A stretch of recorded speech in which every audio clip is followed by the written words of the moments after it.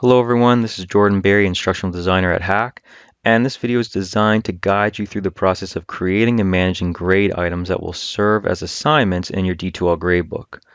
We'll take a look at how to use grade items to link your Dropbox quizzes and discussion assessments directly to the gradebook to make inputting grades more efficient for you. Just a note, if you have not yet run D2L Setup Wizard, you'll want to do that first. Click the link at the top of the video to watch a detailed overview of how to go through that process. So to get started, we'll click on Grades in the navbar. Now that you've completed the setup wizard, the only two tabs that you really need to use in this section are the Manage Grades and Enter Grades areas. Now before we begin, I just want to take a second to explain the purposes of grade items to your gradebook and assessments in D2L. Essentially, grade items serve two purposes. First, they represent assignments that exist either inside or outside of D2L and allow instructors to assign point values to these assignments. Secondly, they serve as a link between assessment tools like Dropbox quizzes and discussions directly to the gradebook so that the two can communicate with one another. We'll look at how this all works later in the video, but first, let's get started by creating a grade item. So to start, we'll click Manage Grades and we'll see that no grade items currently exist. So we'll create one. We'll click the New button and we'll choose Item to create a grade item that will reflect an assessment that we'll use in our course. The category function helps you organize the gradebook and is required if you're setting up a weighted grading system, but for our purposes, we don't need it, so we'll click Item. Now we can choose the type of grade item, and there's a number of options to choose from. We're going to choose numeric as that's the standard option. And now we can start defining our grade item. First, we'll give it a name that students can recognize. Let's say that we want to label this essay number one, literary traditions. Try to be a little bit specific in your naming to give students a reminder of what the assignment was. You can add a short name if we want. Um, we'll add essay one, literary traditions is fine, but it's not required. Now again, categories are used to organize assignments. Like if we wanted all of our essays to fall under one category in the gradebook, we could create a new category for that. But for our purposes, we're not going to do that today. Next is point value. So how much do you want the assignment to be worth? I'm going to say a whopping 50 points. Uh, I don't want them to be able to exceed that amount, nor do I want this assignment to be a bonus assignment. And I do not want to exclude this essay from the final grade calculation, so we're going to leave these boxes unchecked. I'm going to hit save and close, and now here it is, it shows up. Now, if we want to enter a grade value for this item, we'll go over to the Enter Grades tab. Now we'll see our students appear on the left-hand side column, and we'll have our essay number one appear in the center with a final grade average that'll be calculated once we get started inputting some grades here. We can either enter the grade for the assignments by clicking the drop-down arrow here next to the assignment name and clicking Enter Grades, which will allow us to put point values for that specific grade item. So let's say BB8 gets a 16 out of 50, naughty droid, and we'll hit Save and Close. Or there's another way, which I personally prefer, to add point values to these grade items. I like to use the spreadsheet view in the gradebook, and I'll show you why.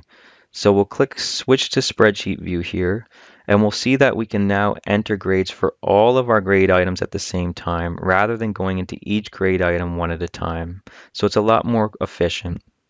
So BB8 has a 16, and we'll give Peter Pants a 49 out of 50. Now we'll hit Save, and then yes to agree to save our changes. And now the gradebook is updated and their final grades are calculated and reflected here. Now, because we've allowed the gradebook to automatically export grades to the students, they should be able to see this when they log into D2L. Let's take a quick look at what they see. So now I'm acting as the student BB8 and I'll see that I have a notification here that I have received a grade. Students can either click on that or they can go to grades in the nav bar. Once in grades, we'll see that essay number one appears with the score provided. And if I have more grades in here, I could calculate the final grade average for the course by clicking on this calculator icon here. Great, so now back to instructor view. So that is essentially how to set up a gradebook item and how to grade them. But what if we want to use some of D2L's assessment tools like Dropbox discussion or quizzes? Let's check them out. So we're going to experiment first with quizzes. Because we can set up quizzes to grade most quiz questions automatically, we can have that information sent directly to the grade book. And that'll save us a lot of time when we're trying to grade multiple choice questions or true or false questions. But we have to create a grade item that will link that quiz to the grade book. So we'll go to quizzes at the top of the page and we'll create a new quiz by clicking this button here. And we'll give it a name. Now we aren't going to look at all the quiz features, that's content for another training video. We'll just look at how this quiz is going to link to the gradebook. So now that we've named it, we're going to click on the Assessment tab.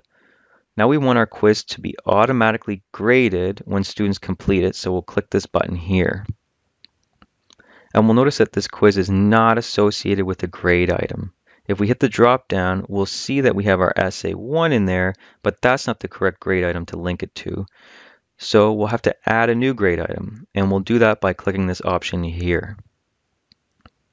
Now a pop-up appears, and we're essentially filling out the same information that we did before when we created that first grade item for our essay. We're going to give it a name, and we're going to name it the same thing that we named our quiz just to minimize confusion for both you and the students. So in this case, Quiz 1 Narratives, or Q1 Narratives for short. Now this is what's going to appear in the grade book. Now we need to give this quiz a point value, and it's important to note that the default point value for grade items is always 10 points, but we need to ensure that this number is the same as the points that are defined in the quiz or the assessment itself. So let's pretend that our quizzes were 20 points, so we'll enter a 20 here. We don't want them to be able to exceed this, nor is this a bonus assignment, and we don't want to exclude this from the final calculation, so we're going to click Save. Now we want to select the option that allows us to automatically export the points students earn on their quiz directly to the gradebook. So we'll click this option here. And now we'll hit Save and Close. We'll see that this icon exists next to our quiz title. What this icon means is that we have a grade item associated with this quiz assessment. So the two are communicating with each other. Now let's be sure by checking our gradebook. We'll click on grades at the top and we'll see that the grade item has indeed been created. So if we take a look, we'll see that it has an association with the quizzes tool. Great.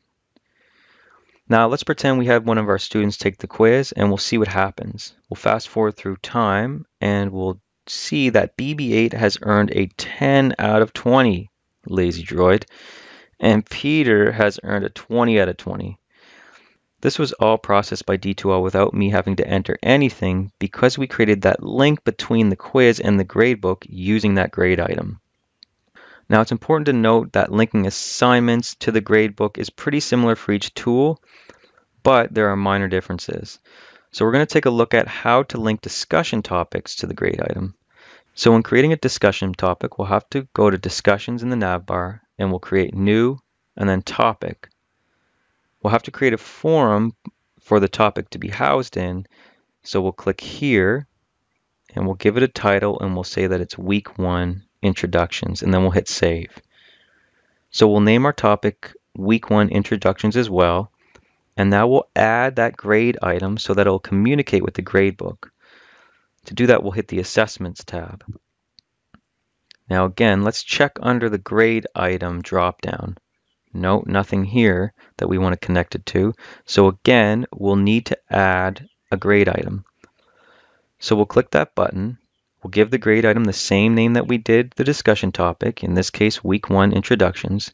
We'll scroll down and change the point value to 20 points. And none of these other options apply to me, so I'm going to hit save.